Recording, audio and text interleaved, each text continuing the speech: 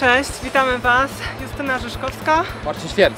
Zapraszam do akcji Czyste Tatry 4 lipca. Opowiem Wam jak przebiec 100 km w 9 godzin.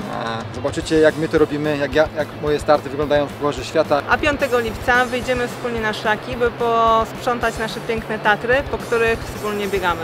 Zarejestruj się już dziś na czystetatry.pl i posprzątaj z nami Tatry. Chętnych zapraszamy 5 lipca na poranny trening. To co, biegniemy.